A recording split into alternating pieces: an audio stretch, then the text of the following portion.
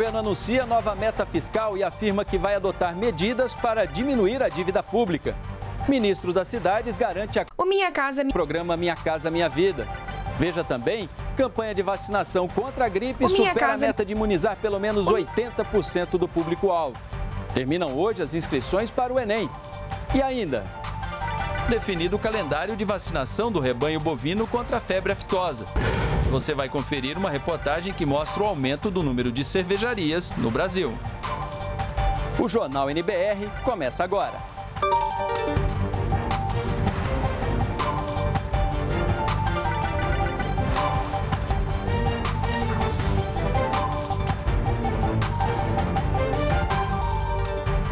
Boa noite. O ministro das Cidades, Bruno Araújo, afirmou hoje que os programas sociais são prioridade para o presidente interino Michel Temer e assegurou a continuidade do Minha Casa Minha Vida. O ministro disse ainda que, tão logo a economia permita, o programa será ampliado.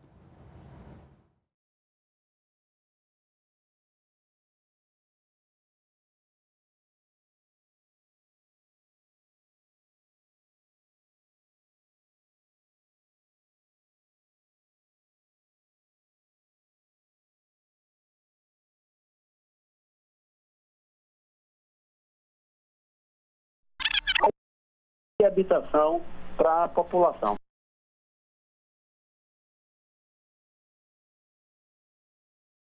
O Minha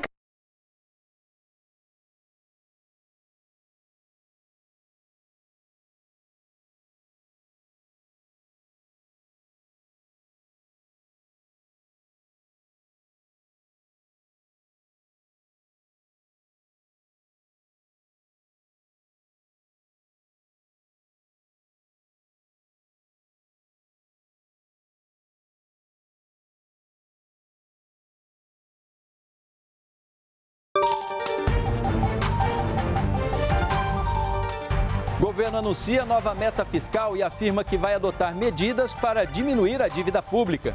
Ministro das Cidades garante a continuidade do programa Minha Casa Minha Vida. Veja também, campanha de vacinação contra a gripe supera a meta de imunizar pelo menos 80% do público-alvo. Terminam hoje as inscrições para o Enem. E ainda, definido o calendário de vacinação do rebanho bovino contra a febre aftosa. Você vai conferir uma reportagem que mostra o aumento do número de cervejarias no Brasil. O Jornal NBR começa agora.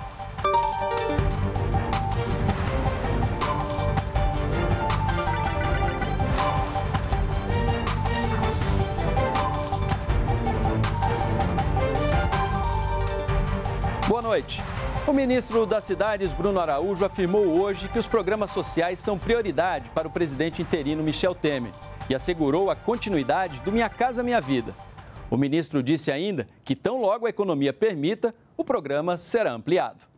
O Minha Casa Minha Vida não vai acabar. A garantia foi dada pelo ministro das Cidades, Bruno Araújo, que destacou a importância do programa para a população e para a economia do país. Minha Casa Minha Vida segue firme, forte, vai ser aperfeiçoado, vai ser melhorado, vai ser cobrado mais qualidade na unidade, na qualidade da unidade entregue à população e vamos fortalecer o Minha Casa Minha Vida, inclusive a terceira etapa do programa. Bruno Araújo também disse que a equipe técnica do Ministério das Cidades trabalha em um novo projeto habitacional que será desenvolvido por meio de parceria público-privada. A ideia é, além de garantir o Minha Casa Minha Vida, oferecer mais uma oportunidade para que a população possa realizar o sonho da casa própria. Há possibilidade nessa escassez de recursos, independente do programa Minha Casa Minha Vida que nós fazemos com o FGTS e vamos seguir firme com ele, de trazer recursos novos, recursos da iniciativa privada que acreditem no contrato firmado, para que nós possamos também prover mais alternativas de habitação para a população. O ministro das Cidades afirmou também que está sendo feito um levantamento das unidades do Minha Casa Minha Vida que já estão prontas e que até junho será definido o cronograma de entrega das novas moradias do programa. A nova equipe da Advocacia Geral da União tomou posse hoje. O órgão tem, entre outras funções, a responsabilidade de representar a União em disputas judiciais e também de dar segurança jurídica em contratos e licitações que o governo realiza. A cerimônia de posse dos nove dirigentes da Advocacia Geral da União, nesta sexta-feira, contou com a presença de integrantes das associações que representam as carreiras da AGU. A expectativa de muita qualidade, muita intensidade nos trabalhos, são pessoas que assumem compromissos com a nova gestão e que sabem o ritmo extremamente produtivo que nós esperamos aí de colaboração e de compromissos que nós temos com o Brasil. O advogado-geral da União, Fábio Medina Osório, disse aos dirigentes e integrantes das entidades que vai trabalhar com base no diálogo e buscar as pautas de consenso para dar visibilidade positiva ao órgão. Fábio Medina Osório também falou que já está mobilizando áreas estratégicas para as ações iniciais e citou algumas delas. Nós temos já compartilhado diretrizes de um trabalho coletivo, em primeiro lugar, né? buscar metas é, em termos de resultados e ter muito compromisso com a qualidade da AGU. Quer dizer, a AGU tem as suas atribuições definidas na Constituição, nas leis, e a AGU vai buscar é, a visibilidade na sociedade brasileira. Em São Paulo, o ministro do Trabalho se reuniu com representantes de centrais sindicais e garantiu que todas as discussões de governo ligadas ao setor vão envolver os trabalhadores. O ministro do Trabalho, Ronaldo Nogueira, se encontrou com dirigentes da Força Sindical e disse que o governo não vai mexer nos direitos dos trabalhadores. Sobre a reforma da Previdência, o ministro garantiu que todas as discussões vão envolver as centrais sindicais. As centrais sindicais, representando os trabalhadores, serão protagonistas no texto que, porventura, venha a ser elaborado no que diz respeito à Previdência Social não o governo ele não tem sinalizado de ter uma proposta impositiva. A orientação é de que seja construído de uma forma pacífica, ouvindo todos os atores que serão impactados com uma possível alteração. O ministro destacou ainda as políticas públicas do Ministério do Trabalho para retomar a geração de emprego no país. Todos os programas que o objetivo é oportunizar a preservação do emprego e ampliar o emprego, sem dúvida nenhuma, esses programas serão aprimorados. O ministro do Trabalho se reuniu ainda com dirigentes da Central dos Sindicatos Brasileiros, a CSB, aqui em São Paulo. Ronaldo Nogueira disse que pretende se encontrar com todas as centrais sindicais para que os trabalhadores possam participar das decisões do governo. O jornalista Laete Rimoli foi nomeado hoje pelo presidente Michel Temer, diretor-presidente da empresa Brasil de Comunicação. O decreto, publicado no Diário Oficial da União desta sexta-feira, também trouxe a nomeação da jornalista Cristiane Samarco para a diretoria geral da empresa. A nova direção assume com o compromisso de exercer uma administração essencialmente jornalística. Nós pretendemos devolver a EBC para a sociedade brasileira e para os jornalistas que fizeram essa empresa. E a Cristiane, que está aqui do meu lado, é uma, é uma jornalista muito querida, muito conhecida, muito competente. E nós dois juntos vamos tentar fazer da melhor forma possível que, o que tem que ser feito nessa empresa. Nós vamos devolver essa empresa para a sociedade brasileira. E nós vamos fazer o básico, que é jornalismo. E a nossa preocupação permanente será buscar aquela regra que é muito importante da 70% de, de funcionários da casa, 30% de gente de fora. É, vocês sabem que em posições políticas essas, essas regras são muito violentadas, né? E como não somos super-homens, nós teremos dificuldades também no trajeto. Mas nós queremos de princípio, de cara, apaziguar os ânimos aqui, dizer que não tem aquilo que foi anunciado aos quatro ventos, de terminar com isso, terminar com aquilo, não é esse o propósito. O presidente Michel Temer, uma das características mais fortes dele é, é a, a, o equilíbrio e é o, o a, ele é um sujeito ponderado e nós aqui que somos indicados por ele seguiremos essa orientação.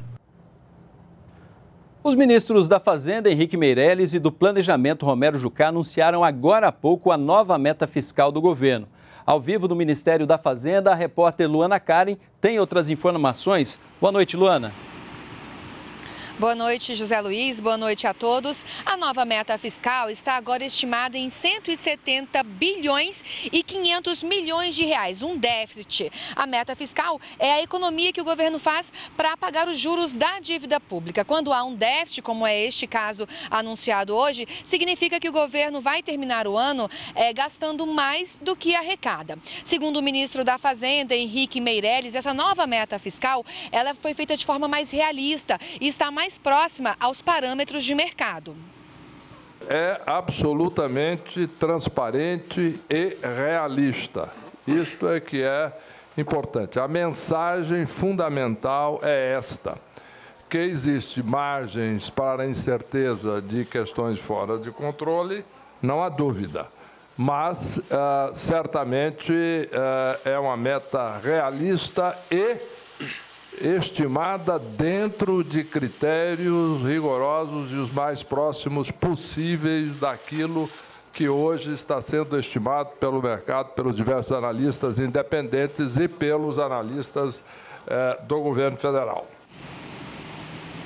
Ainda de acordo com o ministro da Fazenda, foram excluídas da nova meta receitas que dependem da aprovação do Congresso Nacional ou de fatores alheios ao controle do governo federal. Já o ministro do Planejamento, Romero Jucá, afirmou que os números espelham agora a realidade. O ministro Jucá disse também que a nova meta fiscal também prevê a retomada ou a continuidade de investimentos e de obras como a transposição do Rio São Francisco, a construção de estradas e investimentos na área área de saúde e de defesa. Outra questão importante é a retomada de obras que são fundamentais. Por exemplo, a transposição do Rio São Francisco e as adutoras do Nordeste que enfrentam a seca gravíssima. Portanto, essas obras serão retomadas e ampliadas no seu ritmo de execução. Alguns outros investimentos na área de saúde, na área de defesa, serão também implementados, como também a conclusão de obras de estradas que estão em ritmo de finalização. Portanto, o, o que se fez durante esses dias, volto a dizer, sob o comando do ministro Henrique Meirelles, foi construir um cenário né, que o governo volte a governar, volte a funcionar e tenha efetivamente a condição de voltar a implementar políticas públicas para atender a sociedade. A nova meta fiscal vai ser encaminhada ao Congresso Nacional na segunda-feira da semana que vem. Os ministros esperam que o texto seja aprovado até a próxima quarta-feira. Segundo o ministro da Fazenda, Henrique Meirelles, essa meta não deve ser revisada novamente este ano. Voltamos com você, José Luiz. Obrigado, Luana, pelas informações ao vivo sobre a nova meta fiscal do governo. Em nove municípios do Paraná e quatro do Rio de Janeiro que estão em situação de emergência, as famílias atendidas pelo programa Bolsa Família terão pagamento do benefício antecipado este mês. O Ministério do Desenvolvimento Social e Agrário vai transferir cerca de 4 milhões e 600 mil reais para atender 30 mil famílias dessas cidades. O benefício já pode ser sacado independentemente do último algarismo do número de identificação social impresso no cartão.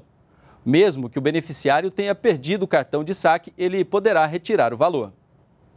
E o Ministério do Desenvolvimento Social e Agrário propôs esta semana à Comissão de Agricultura e Reforma Agrária do Senado a inclusão dos bancos de alimentos nos projetos de lei que tratam do combate ao desperdício de comida.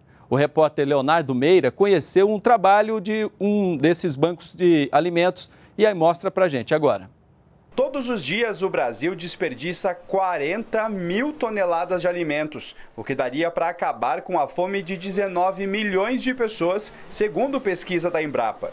Para se ter uma ideia, só na CEAGESP, em São Paulo, o maior entreposto da América Latina, a maior parte dos alimentos que não são comercializados acabam desperdiçados nas caçambas de lixo, quase 70%. 25% são destinados para compostagem processo de transformação em adubo, e apenas 5% chegam aqui no banco de alimentos. E mesmo assim, os números impressionam. Todo mês, o banco doa 170 toneladas de alimentos para 160 instituições sociais cadastradas, o que dá em torno de 300 mil beneficiários. A gente faz toda uma seleção, faz uma pré-análise e aí depois a gente liga para essas entidades sociais e essas entidades sociais vêm com seus ajudantes, porque aí depois tem que passar para as caixas deles, né? A gente tem as nossas caixas que vira para as caixas deles e aí eles levam em seu transporte também. Os alimentos que vêm para cá estão fora dos padrões de comercialização, mas mantêm todas as propriedades nutricionais e não apresentam nenhum risco para o consumo humano. Olha só esse tomate aqui, por exemplo, tá até mais bonito do que muitos que a gente encontra pelas feiras por aí. São alimentos que fazem a diferença para instituições como a Associação Amigos do Coração de Jesus. O Cláudio é motorista da entidade e, ao menos duas vezes por mês, leva quase 10 caixas cheias que ajudam na alimentação dos 35 idosos da casa de repouso mantida pela associação. Um trabalho assim que nos auxilia muito, nos ajuda, né? Nesse sentido de angariar fundos e, e aqui no caso, né, alimentos para que nós tenhamos aí o prosseguimento dos nossos trabalhos. Mas é um trabalho excelente. O Brasil é o maior exportador de carne bovina do mundo. O país tem atualmente 212 milhões de cabeças de gado. E para manter a qualidade do produto nacional, é preciso ter atenção com a saúde do rebanho. Uma das medidas é vacinar os animais contra a febre aftosa. Segundo o Ministério da Agricultura, embora o Brasil não registre nenhum caso da doença desde 2006, a vacinação é obrigatória para bovinos e bubalinos, búfalos, em todos os estados, menos Santa Catarina. Das 27 unidades da federação, 23 são livres de aftosa com vacinação. Santa Catarina já superou a doença e não imuniza mais o rebanho ela se dissemina muito rápido no rebanho, então ela é difícil de controlar depois que a doença entra. A principal estratégia para a gente evitar que a doença entre no rebanho brasileiro é justamente a vacinação. Claro que cada estado ele tem uma estratégia diferente, mas todos são mediados pelo Ministério da Agricultura. José Armando é dono da Fazenda Santana, no Distrito Federal, onde cria gado leiteiro há 12 anos e sempre mantém em dia a vacinação do seu rebanho. Tenho todo o cuidado com a propriedade, com as vacas que eu tenho. Né? Tenho vacinado todo ano, sempre no mês de maio, sempre no mês de novembro conto sempre com acompanhamento de um veterinário. A primeira etapa da vacinação contra a febre aftosa de 2016 termina agora dia 31 de maio. 170 milhões de cabeças de bovino e bubalinos devem ser imunizadas até o final deste mês em todo o país. A campanha acontece em duas etapas, no mês de maio e novembro, como determina o calendário oficial do Ministério da Agricultura. A vacinação é obrigatória para todos os animais, independente da idade, no Distrito Federal, nos estados de Alagoas, Bahia, Ceará, Goiás, Maranhão, Minas Gerais, Pará, Paraíba, Pernambuco, Piauí, Rio de Janeiro, Rio Grande do Norte, Rio Grande do Sul, Sergipe e Tocantins. Nestes estados, a dose deve ser aplicada até o dia 31 de maio. Já em Mato Grosso do Sul, o trabalho deve ser concluído até 15 de junho. Nos estados do Acre, Espírito Santo, Mato Grosso, Paraná, Rondônia e São Paulo, os produtores vão vacinar apenas os animais com idade até 24 meses. Em Roraima, deverá ser realizada a vacinação de todo o rebanho bovino e bubalino. Terminou hoje a campanha nacional de vacinação contra a gripe. Um balanço divulgado no fim da tarde pelo Ministério da Saúde mostra que em todo o país, 81,5% do público-alvo foi imunizado. A meta era vacinar pelo menos 80% das 50 milhões de pessoas que compõem o grupo prioritário, como gestantes, idosos e crianças menores de 5 anos. Mas, segundo o Ministério da Saúde, alguns estados e municípios não atingiram a meta e podem continuar a vacinação. A região sul apresentou o melhor desempenho, seguida pelas regiões Sudeste, Centro-Oeste, Norte e Nordeste. Até 9 de maio foram registrados no Brasil 2.808 casos de gripe de todos os tipos. Desses, 2.375 foram de H1N1. Em 2015, a Receita Federal doou para órgãos públicos e instituições beneficentes em todo o país mais de 400 milhões de reais em mercadorias apreendidas na alfândega um trabalho que continua. Hoje a doação foi de equipamentos hospitalares.